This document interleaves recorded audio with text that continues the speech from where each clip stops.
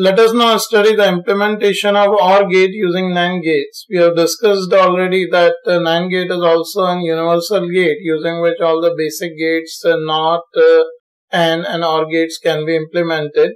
Here we are going to see how uh, using the combination of NAND gates we can uh, implement OR gate. Here you can see this is the combination circuit of three NAND gates using which we can implement an OR gate. Let's analyze it. You can see this is uh, the way a NAND gate is used as a NOT gate or an inverter gate which we have discussed in the previous sections.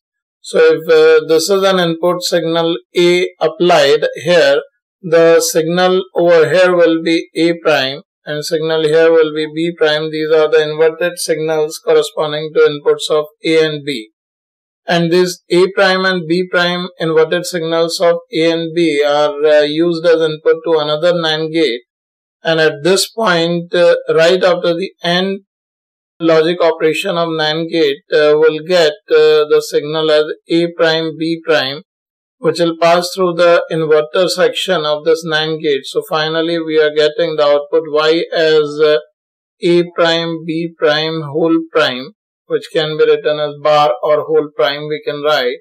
So in this situation, this signal which is A prime, B prime, whole prime or bar, when uh, we analyze this expression by using Boolean algebra, then it can be further simplified as A plus B.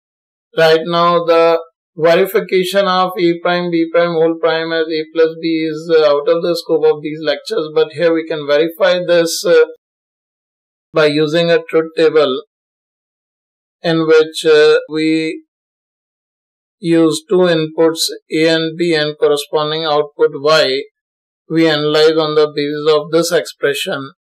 Say there are four combinations of two inputs 0, 0, 0, 1, 1, 0 and 1, 1. Here you can see if A and B are 0 and 0, A prime, B prime will be 1 and 1. So the AND of uh, 1 and 1 will be 1 of which the prime will be 0. Similarly, here if A and B are 0, 1, A prime, B prime will be 1 and 0 and in this situation you can see the AND operation of uh, 1 and 0 will be 0 of which the prime will be 1. Similar to that uh, when A is 1, B is 0, A prime will be 0, B prime will be 1 and the AND operation of 0 and 1 is 0 of which the prime is 1. Similarly, for 1 and 1 again, this will be 0 and 0 of which the prime will be 1. And you can see the truth table we are getting for this combination of three NAND gates is a truth table of uh, OR gate. So here uh, we have verified that uh, the final output of the combination of three NAND gate is exactly equivalent to the OR gate. So this is the way how using three NAND gates we can implement an OR gate.